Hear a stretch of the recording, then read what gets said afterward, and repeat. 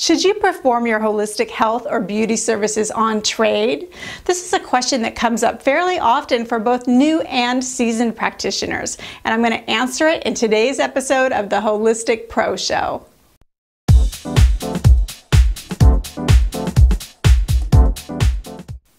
Jaya Savannah here, strategy coach for holistic businesses.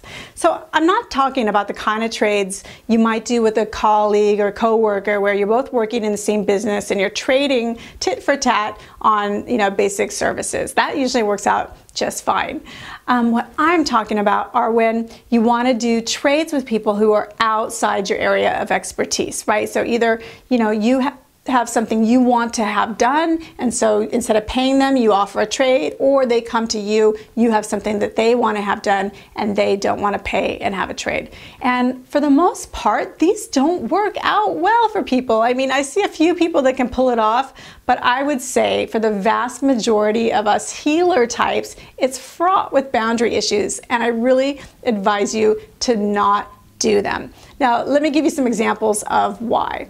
Number one, the big issue has to do with money. All right, think about it. If you are already having some issues where you don't have enough money and you're tempted to want to do a trade, you know, it's one thing to say, well, I need these services and I'll trade in order to get them, but you're really also sending a mixed message to the universe. On the one hand, you're saying, I don't have any money, and you're reinforcing that message. I don't have money. You're even telling someone else, I don't have money. And then you're also, though, not accepting money. You're also saying, well, I also don't deserve money. This person wouldn't pay me money. I'll just take trade. Well, you know what? You can't live on trade. Your landlord doesn't do it. PG&E doesn't do it. And, you know, none of your other bills will do it either. That's why they invented money. So if you have any kind of money issues around lack, scarcity, self-worth, okay, any hot button emotions related to money, I think trades should be off limits for you. You need to get used to dealing with money. Now, the other issues generally fall somewhere in the category of boundary issues. The first one that I see also ties in with money, and that is um, do you decide to do the trade based on dollar value or on time. So let me give you an example. Let's say your services normally bill at $120 an hour and the other person in the trade usually bills at 60. Okay, so you're making double what they do when it comes to cash. So what do you do when it comes time to trade? You know, do you bill um, do it at the billing rate where you're, you know, doing one hour's worth of work and they do two in the trade? Or are you just trading even Steven on time? Well, almost always these things end up defaulting to trading on time because the person who makes more money doesn't want to speak up and demand that they get paid their usual rate even in the trade. And you know, honestly, it's just really not that fair. If you're the person making more money, look at it this way. You're already lowering your abundance level to say that you're willing to work on trade and not take the money. And then you're taking a double hit by saying not only am I not worth getting paid cash, but I'm willing to work for less than my usual rate. You're sending a double negative um, message out to the universe about your money. And I don't think that that's a good thing to do. If you want to do charity and give someone a service for free, I think that's better than doing an uneven trade. All right. Now, the other areas where boundaries often go wrong have to do with um, the ability to give someone constructive feedback. So when you hire a service provider and um, you need to criticize the work, you know, give some constructive feedback, make requests, ask for something, you know, to get your needs met. When you're paying cash, you feel more entitled to that right, which you should have. It's not a false entitlement, you should have that.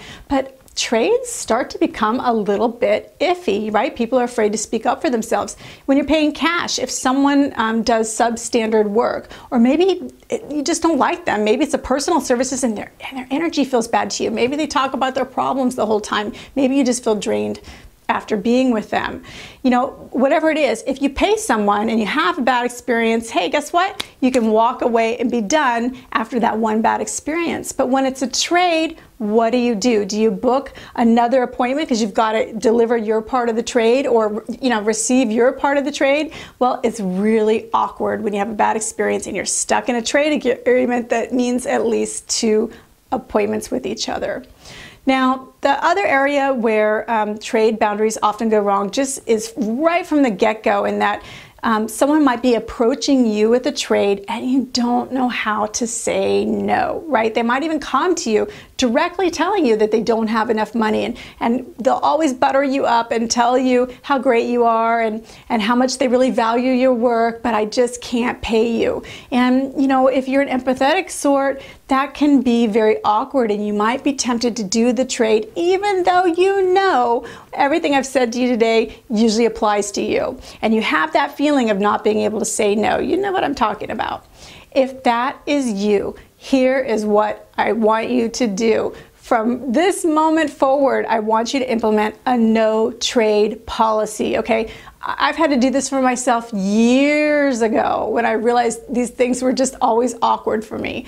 So if you just have a no trade policy, there's no problem with saying no, okay?